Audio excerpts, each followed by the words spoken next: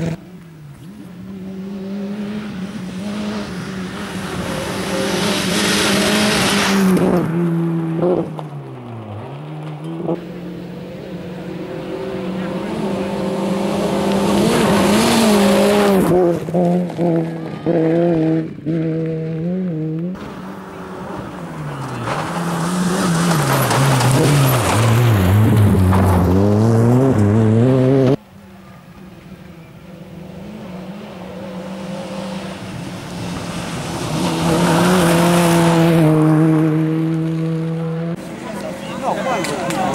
anche al nord lo sto sentendo